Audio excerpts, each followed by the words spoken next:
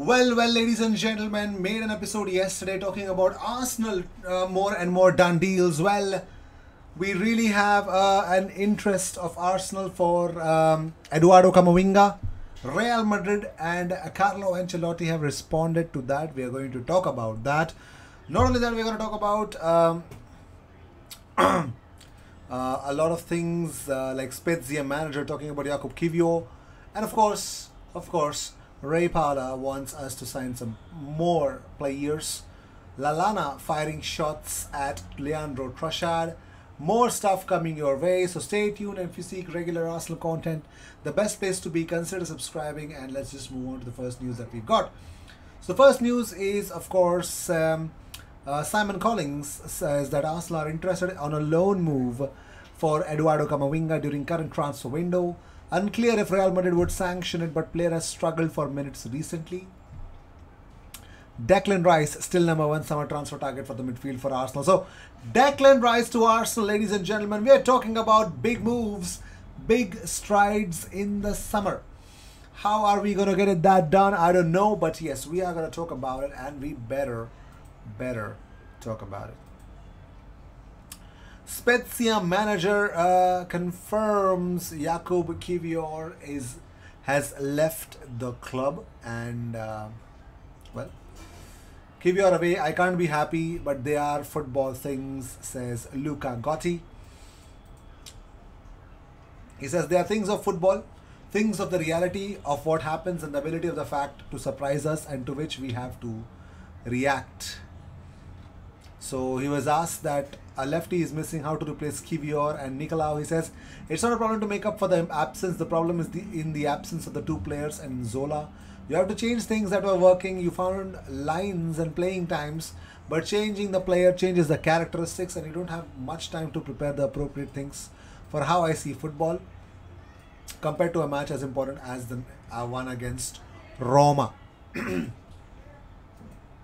So looks like Gotti is Luca Gotti, the manager of Spezia, is not happy.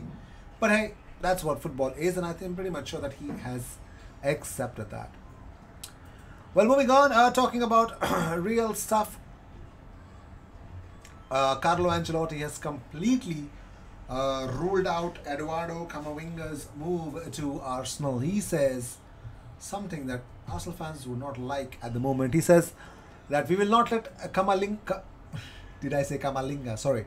Camavinga leave. He's untouchable like Modric and Toni Kroos. So, looks like he's untouchable at the moment. So, let's talk about Eduardo Camavinga's agent, Joshua Barnett, says that there, there are no truth about uh, uh, uh, him going to Arsenal.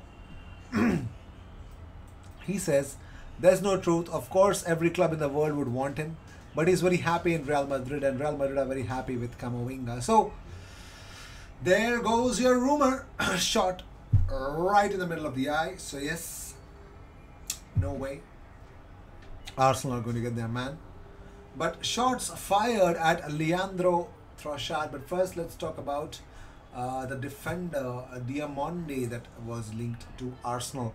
So yes, Diomande was linked with Arsenal. We're going to talk about him for a brief moment of time. So, according to Bruno Andrade, uh, he says that Arsenal considered buying Diomande, and soon after loaning to, uh, soon after they wanted to loan him to Sporting.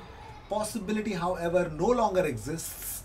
Arsenal are now working on different fronts for the young centre back. Very interesting stuff coming your way. And here is Ivan Fresneda. It looks like his agents were, were at Colney last week, according to Charles Watts. Yes, that's the update. That's the headline. Arsenal third signing Ivan Fresneda's agents were at London Colney. Moving on, uh, um, uh, Martin Odegaard says uh, he spoke about how he's been, uh, you know, how the basketball celebration came into existence. He says to explain the basketball celebration is just something we have talked about in the team. We have some principles in the team and the way we work, and there is one thing uh, we do that we think is similar to basketball. Let's see how things will turn out. By the way, Luca Bendoni has confirmed Jakub Kiwior has landed in London. Um, private jet from Pisa. He'll undergo medicals today with Arsenal. 25 million euros deal, 5.5 years contract. So let's see. Also, uh, Adam Lallana has fired a parting shot at Trossard. He says you only need to look at the last three results without him 5 1, 4 1, and 3 0. Players can leave Brighton, but we've got enough without them. We had enough without Bissouma, Cucurella, Ben White, Dan Burn when Neal Maupay moved on. So if Leo moves on, we'll cope. We are coping already. Well, amen to that. By the way, Jakub Kiwior has landed in London, but it looks like he is set to seal his move. Yes, but according to Polish journalist Tomasz Lordacic, I hope I, I pronounce that in the right way, he says that Kiwior will sit with Edu and his close ones at the game for the United game. Yes, Arsenal are still waiting for the confirmation on whether Trossard can make his debut against United, but that only time will tell.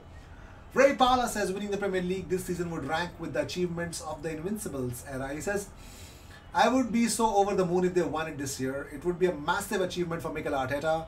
At the start of the season, I thought getting in the top four would be great. I would never have put them where they are at the moment. There's still a long way to go.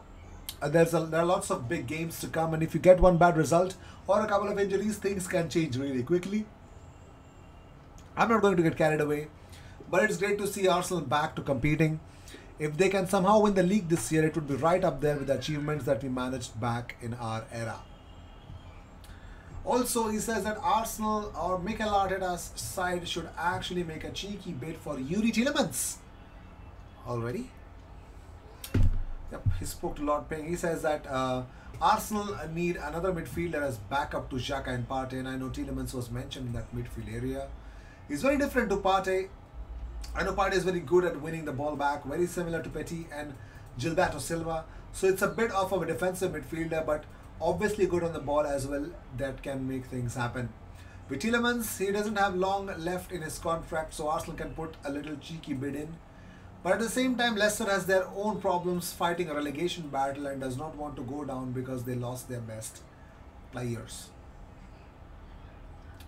Let's see whether that is going to work or not. So, uh, huh.